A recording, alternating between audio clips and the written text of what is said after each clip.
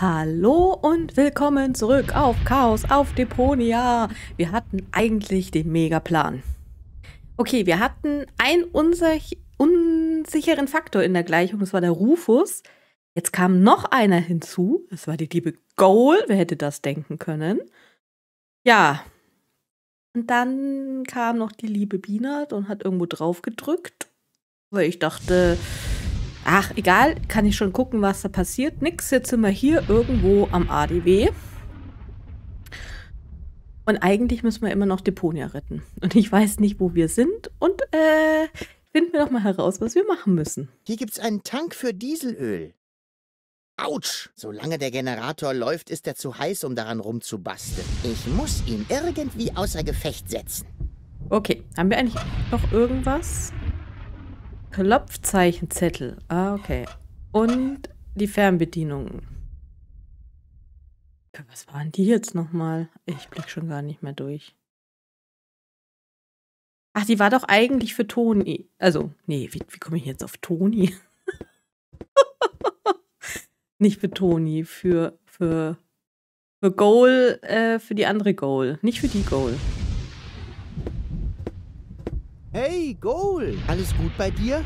Langweilig. Was treiben wir hier überhaupt? Keine Sorge, gehört alles zum Plan. Oh je. Ja, zum Plan. Den Plan, den haben wir schon lange über Bord geworfen.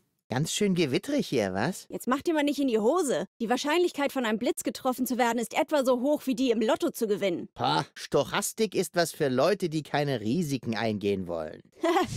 Stimmt. Oh Gott. Wie kriegen wir bloß diesen Funkmast repariert? Was fragst du mich? Du bist doch angeblich der Bastler hier. Bin ich ja auch. Ach ja? Was ist denn überhaupt kaputt? Äh, Also die Dinger hier, äh, die sind ziemlich lose. Und die äh, Elektroschuhe sind senklich und haben an der Elektroschlaufe einen Elektrodoppelknoten. Ach. Und ich hätte wetten können, dass es etwas mit diesem kaputten Kasten hier zu tun hat. Den man unter Profis auch Elektroeinlage nennt. Du trägst Einlagen? Nicht um größer zu wirken, falls du das denkst. Oh Gott. Ich habe einen Plan. Kannst du dich kurz da drüben auf das Plateau stellen? Ich habe einen Plan. Kannst du dich kurz da drüben auf das Plateau stellen? Tja. Warum eigentlich nicht? Was spräche dagegen, sich mitten in einem Gewitter auf eine erhöhte Plattform zu stellen?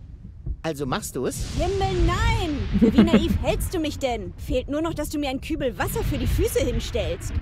Oder mir einen Regenschirm in die... Rufus? Moment mal. Naiv, Kübel Wasser, Regenschirm. Du planst doch nicht etwa, mich als menschlichen Blitzableiter zu benutzen, oder? Käme ich nicht im Traum drauf. Gut so. Nee, Moment. Nicht im Traum, aber im wachen Zustand? Zu spät. Mist. Weiter geht's. Ich hoffe, du weißt, was du tust. Äh, darauf würde ich nicht äh, trauen. Oh, schwuppdiwupp war er weg. Na? Zap, zarab. So. Dann wollen wir mal. Der klettert jetzt nicht ernsthaft da hoch. Obala. Obala, Rufus, das war jetzt äh, interessant. Aua.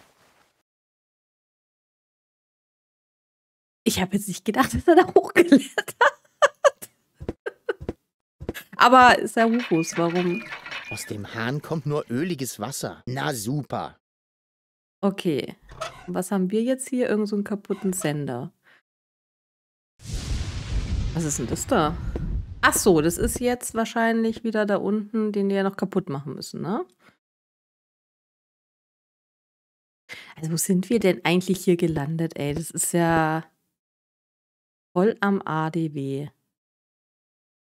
Können wir da noch irgendwas an der Pumpe machen? Wollen wir noch mal kurz rösten? So. Dann wollen wir mal. Aus Versuchszwecken, ob es immer noch dann. Ach. Ist ja aber. Ups. Entschuldigung, Rufus. Aua. Das habe ich jetzt nicht kommen sehen. Okay. Können wir noch? Können wir noch was machen? Plateau. Das ist der perfekte Platz, um Behältnisse mit Wasser zu befüllen oder vom Blitz getroffen zu werden. Ja, wo kriegen wir jetzt ein Be Behältnis her? Also wir haben ja kein Behältnis. Pumpe. Und da kommt ja nur Ekelwasser kommt raus. nur öliges Wasser. Na super. Aber da bräuchten wir ein Behältnis, ne? Um dann die liebe Gold da reinstellen zu können. Können wir noch irgendwo rein? Nee, da geht es ja nur da hoch. Da wird er geröstet. Was machen wir jetzt eigentlich mit diesem Sendeteil? Können wir da irgendwas hier machen? So viel haben wir noch nicht, ne? Hier gibt's einen Tank für Dieselöl. Autsch! Solange der Generator... Ich muss... Ach so, das geht nicht, ne? Kannst du Hier hier, gibt's nicht... Okay. Autsch! Solange ich muss... Das geht nicht. gibt's einen Tank... Okay. Autsch! So, Ja. Ich muss ihn... Entschuldigung, also wollte ich jetzt eigentlich nicht. Also viel habe ich nicht, ne? Ach, vielleicht können wir aber auch woanders hingehen.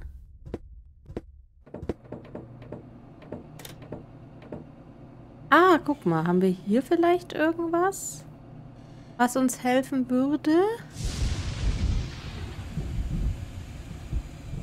Nö. Vielleicht spielen wir jetzt noch mal an dem Radar darum. Ha? Warte mal, wo sind, da sind wir jetzt, ne? Schwimmender Schwarzmarkt? Gehen wir doch mal dahin. Oh.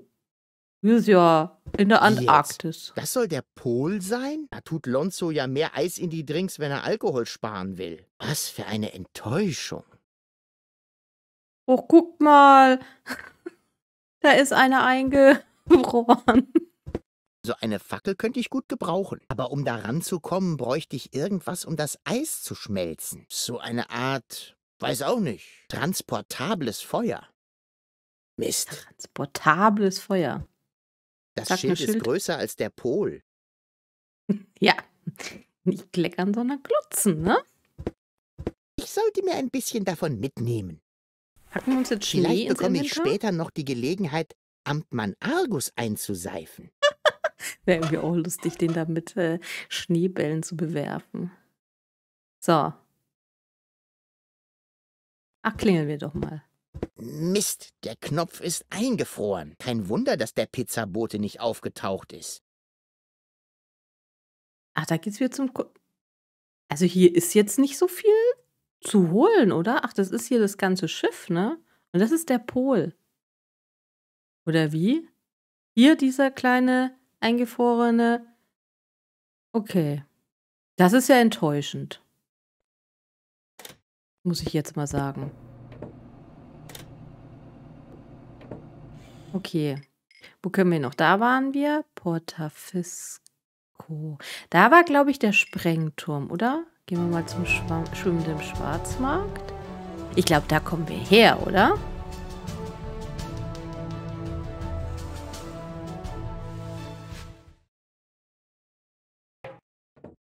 Oh, können wir wieder weg? Ich habe Das ist verklickt. heute nicht Ihr Glückstag, Seagull. Meine Leute haben jeden einzelnen Müllhaufen durchwühlt. Aber von dem Mädchen fehlt jede Spur. Sie war hier. Warum sollte ich Sie anlügen? Das weiß ich nicht. Vielleicht leiden Sie unter derselben Selbstüberschätzung wie Ihr Sohn. Rufus ist nicht mein Sohn. Von mir aus machen Sie mit ihm, was Sie wollen. Aber wir hatten einen Deal. Sie wollten einen Hinweis und den habe ich Ihnen gegeben. Was kann ich dafür, wenn Ihre Leute unfähig sind? Sie verschwenden meine Zeit. Oh, Und ich kann es nicht ausstehen, wenn jemand meine Zeit verschwendet. ich weiß aber Hey, jetzt ehrlich du, nicht geht so, das ob ich auch so ein bisschen bin. leiser? Du verscheust die Fische. Entschuldigung, Sicher. wird nicht wieder vorkommen. Ich will jeden Winkel dieses Schrotthaufens noch einmal durchsucht haben und verriegelt alle Zugänge zum Hafen. Wenn auch nur eine Ratte hier raus will, will ich das wissen. Was ist, wenn wir rein wollen? Also ich muss jetzt ehrlich sagen, ich weiß jetzt nicht so, ob ich so traurig bin um Seagull. Das waren Argus und seine Spürhunde. Der Organon ist uns also bereits auf den Fersen. Psst. Er hat recht. Wir müssen vorsichtig sein. Können wir Köderfisch klauen? Hey, was tust du da? Ich, äh, ich verneige mich vor Neptun. Oder äh, ist er das gar nicht? Was? Das ist gar nicht. Wo? Willst du mich veralbern? Veralbern, beklauen, irgendwie sowas, ja. Beklauen. Was haben wir jetzt? Klein, ein klein Köderfisch. So. Mensch, Gohl, du kannst die doch einfach alle zusammenhauen. So, wir kommen jetzt also da nicht mehr rei- rein. Was ist das hier für ein Napf? Warum steht der Napf hier draußen, wenn die Katze drinnen eingesperrt ist? Entweder hier lebt jemand seinen Sadismus aus, oder aber die Katze kennt einen geheimen Weg nach draußen. Und das weiß dein Besitzer auch. Komm, Katzenpferd. Kitty, Kitty, Kitty, Kitty, Kitty. Komm, ja. Zeig Onkel Rufus den geheimen Weg in den Gadget Shop. Sie hört nicht. Hm. Was offensichtlich Ah. daran liegt, dass Katzen generell ein sehr schlechtes Gehör Ja, haben. voll, Rufus. Dafür sind die Katzen bekannt. Guck mal.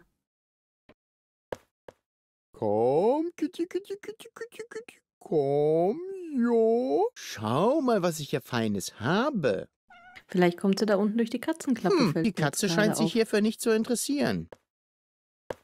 Wahrscheinlich ist sie nur Thunfisch. Verwöhntes Biest. Ich finde sie süß. So klein und so weich. Du bist weich. Besonders in der Birne. Oh, ich finde die Go lustig. Achso, warte mal. Jetzt habe ich noch den Fisch da. Schau mal, da unten ist so ein Zugang. Da könntest du ja durch. Können nirgendwo mehr hin, ne? Wo sollen wir denn jetzt Thunfisch herbekommen? Hast du Thunfisch,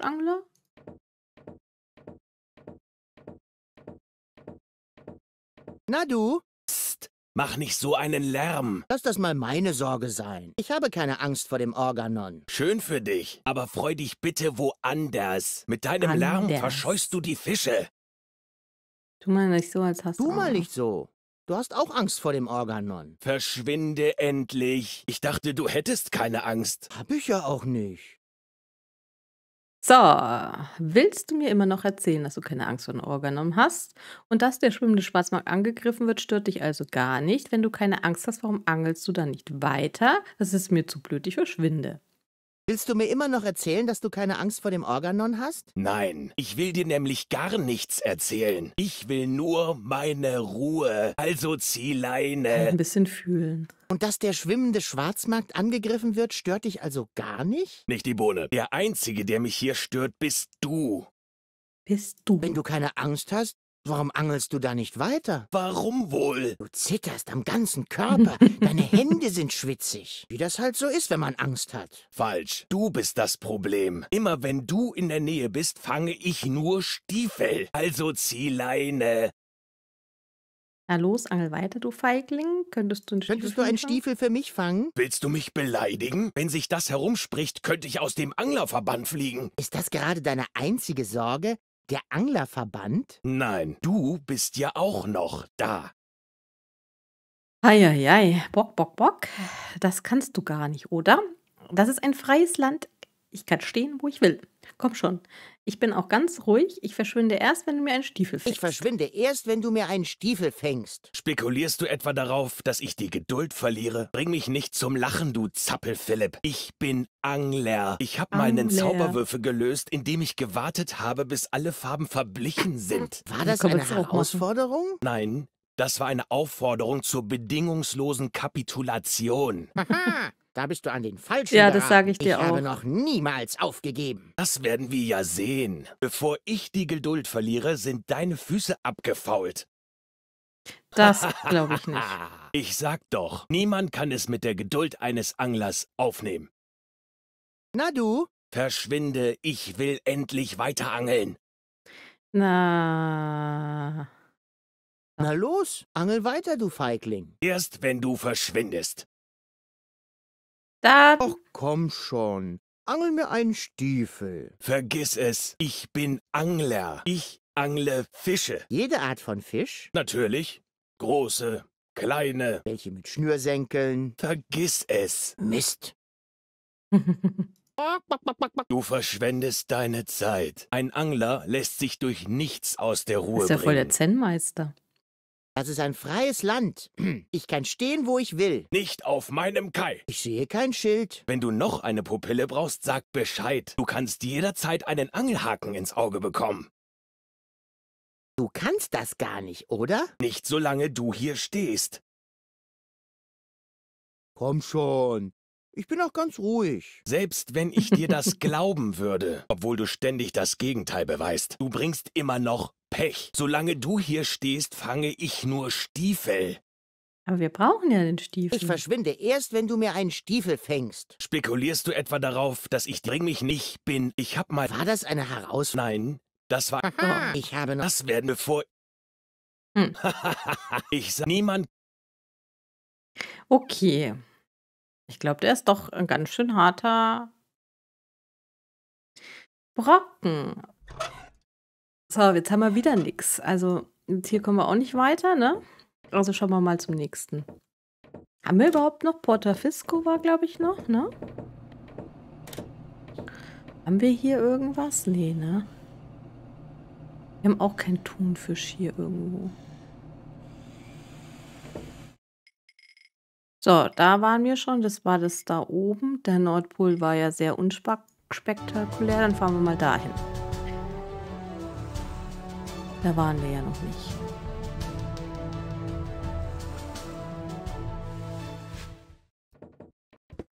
Oh, guck mal, hier ist schon ein bisschen mehr los. Das ist also Portafisco, die einstige Metropole am rostroten Meer. Ein ganz schöner Drecksladen, selbst Das für Deponia-Maßstäbe. was stinkt hier nur so furchtbar? Das dachte ich mir auch. Hier sieht es jetzt nicht wie eine Metropole aus. Ich dachte, jetzt kommt hier so Portafisco. Das klingt wie so, ach, so ein romantisches Städtchen am Meer. Oh, was haben wir denn jetzt eingesteckt? Ein Stromumkehrer. Ich wollte eigentlich mit dem Typen da reden. Aber okay. Komm, wir gehen erstmal, das, das sieht doch hier wie so ein Wahrsagerschuppen aus. oder so, ich weiß nicht. Ah, Komm ja. rein, Rufus. Ich habe dich erwartet. Sehr gut. Mein Ruf eilt mir voraus. Aber nicht doch. Die Kristallkugel hat mir deine Ankunft verraten. Und sie weiß sogar, wie ich heiße. Tatsächlich hast du im Vorzelt deinen Namen gesummt. Aber egal, du bist spät dran, Rufus. Ich wurde aufgehalten. Ja, das habe ich ebenfalls vorhergesehen. Was genau genommen keinen Sinn ergibt. Und noch was. Dass du mir die Bananen klauen wirst, werde ich dir sehr übel nehmen. Ja, Entschuldigung. Bist du so eine Art Hellseher? Ich verfüge über das dritte Auge. Ja, aber ich praktiziere nicht mehr. Dann habe ich den Kaffeesatz im Vorraum vollkommen umsonst auf den Teppich geschüttet. Tja, die Zeiten haben sich geändert. Wenn man heutzutage nicht auf einem Scheiterhaufen enden will, tut man gut daran, düstere Vorahnung für sich zu behalten. Darum habe ich auf Partnerberatung umgesattelt. Bitte was? Du hast vorhergesehen, dass du schlechte Zeiten vorhersehen wirst und hast deshalb die Wahrsagerei aufgegeben? Aber, aber nicht doch. Ich habe meinen Job rechtzeitig an den Nagel gehängt. Entsprechend werde ich auch niemals schlechte Zeiten vorhersehen. Und was nicht passieren wird, kann man nicht vorhersehen. Ich habe allerdings Hm. vorhergesehen, dass ich aus diesem Grunde meinen Job an den Nagel hängen werde. Irgendwie wünsche ich mich gerade zu Docs Zeitanomalien zurück. Du machst jetzt Partnerberatungen? Ja, aus irgendeinem Grund sind die Leute empfänglicher für schlechte Neuigkeiten, wenn es um ihre Beziehung geht. okay. Kannst du die Lottozahlen vorhersagen? Ich könnte. Und warum machst du es nicht? Ach komm schon, verrat mir die Lottozahlen. Nein, Langweilig. Wird es mir gelingen, die Welt zu retten? Die Zukunft ist noch nicht geschrieben, Rufus. Außer in meinem Tagebuch natürlich. Ich habe nächsten Monat viel zu tun, da habe ich schon mal etwas Hm. vorgearbeitet. Vorgearbeitet. Warum wohnst du in einem Zelt? Meine Kunden erwarten ein mystisches Ambiente. Außerdem ist es praktisch. Im Falle einer Katastrophe kann ich all mein Hab und Gut innerhalb von Minuten zusammenpacken. Äh, was für eine Katastrophe. Ups. Ähm, das Gewirk der Zeit ist in ständiger Bewegung. Ein Schleier liegt über der Zukunft. Ja, ja. Äh, äh, äh. Ungewissheit spielt äh. auf seinen Bongos. Es gibt kein Benzin für Satinovs Kettensäge. Uh, Hey, nun lenk mal nicht ab. Was für eine Katastrophe. uh. Ach, verdammt. Uh. Ich will deine Bananen nicht. Du wirst sie mir trotzdem stehlen. Glaub Mensch. mir. Er kennt uns zu gut, ne? Ich will dich nicht länger stören. Ich habe es anders gesehen. Ja, wir kommen mal wieder.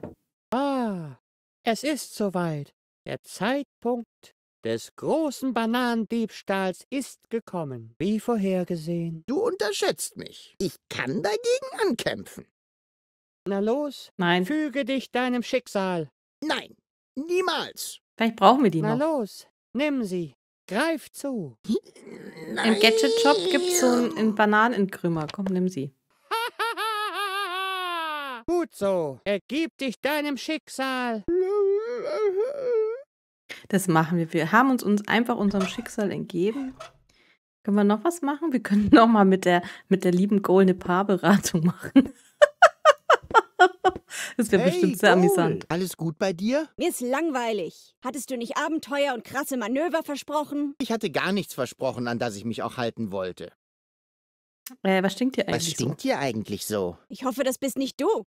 Nein, ich glaube, es kommt von dem Typ da drüben. Das hätte ich an deiner Stelle auch gesagt. Ja, um den Verdacht von dir abzulenken. Warum sollte ich? Ich rieche fantastisch. Ach ja? Ach ja? Das ja, ja, der da Penner da, Thema kein beendet. Zweifel. Kommst du mit zum Wahrsager? Er wohnt in dem Zelt da oben. Ein Wahrsager? Boah, nee, lass mal. Warum sollte ich mir von einem dahergelaufenen Möchtegern sagen lassen, wohin die Reise geht? Ich glaube ja auch nicht an sowas, aber... Ich meinte eigentlich dich. Oh, oh. keine Spur von Donnergoal. Strengst dich aber auch nicht wirklich an, oder? Ich spare meine Kräfte für kommende Herausforderungen. Und wenn die Herausforderungen nicht kommen? Vertrau mir, die kommen schon. Ja, das Sie glaub ich sammeln auch, sich nur für einen kommen. Überraschungsangriff. Am Ende sind alle Vorbereitungen zunichte gemacht und schließlich kann uns nur noch ein halsbrecherischer Befreiungsschlag retten. Und das läuft immer so? Jedes Mal. Cool. Cool. Weiter geht's. Ich hoffe, du weißt, was du tust. Nee. Das kann ich dir sagen. Nee. Irgendwie sagt er mir auch was, aber ich weiß nicht mehr ganz genau. Der müffelt, ne? Ist der Müffler hier. Hey da, sozial benachteiligter Oh Zeitgenosse. Muss das sein? Wieso? Ist das nicht der politisch korrekte Terminus? Ich habe extra nicht ranziger Penner gesagt, obwohl sich das ziemlich aufgedrängt hat. Mein Name ist Gun. Und wenn du dich über Obdachlose lustig machen willst, dann bist du hier an der falschen Adresse. Keine Sorge, ich bin ein Freund des kleinen Mannes. Des kleinen Mannes? Ja, sein Name ist Wenzel. Ich habe keine Ahnung, wovon du Aber da ist doch redest. Gronk, oder? Das hätte ich ja fast vergessen. Das niedere Ist Volk versteht ja die Sprache Die der Stimme Bildungselite nicht. Zum Glück bin ich geübt im Ghetto-Slang. Och nee, och, och bitte mach das nicht. Hey ho, Doch, Digga, oder? was geht ab in der Hood? Och, lass das bitte, ja? Ich habe nicht immer auf der Straße gelebt. Ich bin Ja. Akademiker. Ah, jetzt verstehe ich. Das hier ist so eine Art soziales Experiment, richtig? Du tarnst dich als Tippelbruder, um die Gebräuche der Trams zu studieren. Ähm, genau. Sehr clever. Fast wäre ich drauf reingefallen. Aber nur fast. Zugegeben. Dein Gestank ist authentisch. Aber was dein Benehmen betrifft, da gibt's noch viel nachzubessern. Ich kenne mich gut aus mit den Gepflogenheiten des gemeinen Clochards. Ich kann dir einiges beibringen, wenn du mir im Gegenzug ein paar Fragen beantwortest. Aber, aber, aber. Keine Widerworte. Ich bestehe darauf. So, ist doch die, die liebe Stimme vom lieben Gronk, oder? Ich bin mir ziemlich sicher. Es hat sich sehr, sehr danach angehört. Du siehst hungrig aus. Ah, bin ich auch. Hm, Ich ernähre mich seit Monaten von Algen, die an der Kaimauer wachsen. Davon blutet zwar mein Zahnfleisch, aber was soll ich denn machen? Ja, ja. Ich sehe, du bemühst dich. Aber nur weil es erbärmlich ist, ist es nicht gleich Penner-Style. Oh Gott, Also, der Rufus. was ja. essen Penner? Äh, was auch immer sie finden, wie ich fürchte. Falsch. Ich habe letzte Woche sogar den Wundschor von einem weggeworfenen Pflaster abgeknabbert. Hm. Ich sagte falsch. Penner essen Schuhe. Was? Uh. Na, Schuhe, das weiß doch jeder. Anfänger. I. Was stinkt denn hier so? Wie unsensibel von mir. Das bist ja du. Findest du Ach, nicht, dass du ein wenig Rufus. übertreibst? Sehr witzig. Du durftest auch nicht gerade nach Orchideen. Hey, schön in der Rolle bleiben, ja? Ein Penner wie du weiß doch gar nicht, was Orchidaleen sind. Also, Orchidaleen. halt den Ball flach, okay? Orchidaleen. Wer kennt sie nicht, die Orchidaleen? Ist das da dein Schirm? Hey, Finger weg. Er ist das Einzige, was ich noch habe. Das Wetter hier am Kai kann manchmal ganz schön unbarmherzig sein. Keine Bange, ich nehme ihn dir schon nicht weg. Ich nehme nur ein paar Modifikationen vor. Er sieht einfach noch zu neu aus. Äh, findest du? Aber ist bei dem Gewitter neulich der Blitz eingeschlagen. Oh, danke für den Hinweis. So, das sollte reichen. Aber, aber so schützt er mich doch gar nicht mehr vor dem Regen. Jetzt sei mal nicht so undankbar. Ich helfe dir nur in deiner Rolle zu bleiben. Oh Gott. Wir könnten ein bisschen Freestylen üben. Als Bewohner des Ghettos musst du nur ein Instrument beherrschen. Ach du meine die gute Beatbox. Rufus, die Beatbox. Beatbox. Es ist ganz einfach. So. Und jetzt du. Um, atsch, um, um, atsch.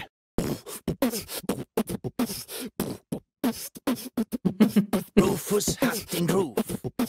Rufus hat den Groove, yeah. Er ist cool, beliebt und lässig, wer kickt erst erfahrungsmäßig. Seine Pläne immer episch, nicht kopierbar, weil genetisch. Er ist Rufus. Yeah, yeah, Rufus. Yeah, Wer ist geiler, weil er Rufus. steiler geht und Salz bringt wie ein Eipaket? Wer kommt krass und ganz weit rum? Wer ist bald auf Elysium? Rufus. Yeah, yeah, Rufus. Bam, bam. Bam. Hey, hey, hey. Was, was, wie? Was soll das denn werden? Ja, ich, ich dachte, ich baue mal einen Break ein. Das ist nicht denken, das ist sich in den Vordergrund spielen. Ach, scheinbar hat es überhaupt keinen Sinn, dir Freestylen beibringen zu wollen. Dabei war der Song so gut. Penner. Ach, tschö, ne, haben wir die Errungenschaft Freestyler ähm, freigeschaltet. Freestyler, da, da, da, da, da. Also, hast du Hast du zufällig? zufällig ein Tauchboot hier vorbeikommen sehen? Nein, tut mir leid. Ich habe die Schnorchelausrüstung wohl in meiner Winterresidenz gelassen. Zu schade. Äh, du hast gar keine Winterresidenz. Das war Sarkasmus. Du bist wohl ein Blitzmerker. Okay, nie wieder Sarkasmus. Penner benutzen nämlich keinen Sarkasmus. So, kannst du mir aus Kannst du mir etwas über Porta Fisco erzählen? Klar, was möchtest du wissen? Äh, genau. Wie komme ich zur oberen Aufstiegsstation? Äh, gar nicht. Der Organon hat alle Wege zum Aufstiegszoll abgeriegelt. Was? Weißt du, wo ich den geheimen Unterschlupf der Rebellen finde? Hä? Na, na klar, der Eingang ist direkt hier in der Kanalisation. Ah, Ich meinte den geheimen Unterschlupf. Ich, äh, ich kenne nur den hier. der ist voll geheim. Ist Porta Fisco nicht auch eine Niederlassung des Organon? Es ist sogar die zentrale Hauptverwaltung. Ulysses hat sein Büro direkt am Aufstiegszoll der oberen Aufstiegsstation. Seit jeher gehörte es zu den Aufgaben des Organon, Deponianern von den Hochbooten fernzuhalten. Nun ist nur noch eines übrig. Und man munkelt, es würde den Planeten schon sehr bald verlassen. Wer weiß. Vielleicht verschwindet dann auch endlich der Organon aus Porta Fisco. Dann Ja, würde ganz Porta Deponia. Fisco einen Luftsprung machen. Ja. Äh, Mehr als du tatsächlich. denkst. Äh, Ja. bitte was? Äh, beim Gähnen verrenkt. Hm. So Genen langweilig verrenkt. fand ich die Geschichte jetzt gar nicht. Im Genen verrenkt. Ah.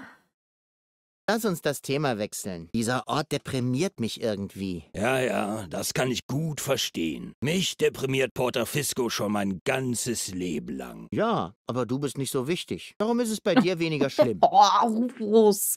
Du bist. Ah. Könnte ich mir den Schirm mal ausleihen? Spinnst du? Also erst machst du ihn Wenn er kaputt ist, wozu brauchst du ihn dann noch? als, äh, als Requisit für meine Rolle. Okay. Wie wäre es mit einem Deal? Ich besorge dir etwas zu essen und du gibst mir den Schirm. Einverstanden? Das, das würdest du wirklich tun? Na klar. Ich hab dir doch gesagt, dass ich ein Menschenfreund bin. Ja, ne, bringt er im Stiefel, ne? Ich sehe schon. Ich riech dich später. Ich riech dich dran, später. was ich dir beigebracht habe. Ach, Rufus, Logen, ne? Digga. Hm, okay. Logen, Noch ein. Tipp. Niemand mag Klugscheißer. Ja, Rufus, du bist der größte Klugscheißer auf Gottes Erdboden. So, das wollte ich jetzt mal sagen. Können wir da mal kurz hochschauen? Ach, wie schön, dass wir jetzt hier auch noch den Gronk gehört haben. Hm, Es war sehr überraschend. ah. Zoll. Ah, vielleicht weiß ich nicht. Reifenberg. Diese Reifen Reifen sind kaputt und langweilig. Wenn sie wenigstens brennen würden. Hm. Der Organon hat offenbar die ganze Stadt abgeriegelt. Ich würde das ja als Herausforderung werten. Leider habe ich im Moment andere Sorgen. Glück gehabt, Organon. Tschüssikowski. Also hier können wir nichts machen, aber wir können vielleicht die Reifen da mit unserem portablen Feuer. Das erinnert mich an meinen grandiosen Trick mit der mir gerade- Gulaschkanone. Können wir die ein, können wir das einsammeln hier irgendwie? Nee, ne? Aber da können wir dann vielleicht die Fackel, die Fackel ähm, entzünden, äh, wenn wir die mal haben sollten. Vom Nordpol. Wir müssen den Stiefel holen. Für den Gronk, dann kriegen wir den Schirm. Den Schirm brauchen wir hundertprozentig für den Blitzableiter. Das brauchen wir bestimmt für irgendwas im Gadget-Shop. Dafür brauchen wir irgendwie noch Thunfisch. Ja, ne? Also irgendwie so um den Dreh, denke ich, müssen wir das noch machen. Also wir sind wieder ein bisschen gut auf Kurs. Ich hoffe es. Ähm, wir werden auf jeden Fall das nächste Mal reinschauen. Dann geht's weiter. Und da werden wir in diesen Rebellen und in den ganz geheimen Rebellenunterschlupf reinschauen. Ja, ich bin gespannt. Das müsste ja eigentlich der neue sein, oder? Weiß ich nicht. Oder ist ein anderer? I don't know. Werden wir das nächste Mal herausfinden. Ich bedanke mich ganz recht herzlich bei euch fürs Zuschauen. Ich wünsche euch eine wunder, wunderschöne Zeit und bis zum nächsten Mal. Macht's gut. Ciao.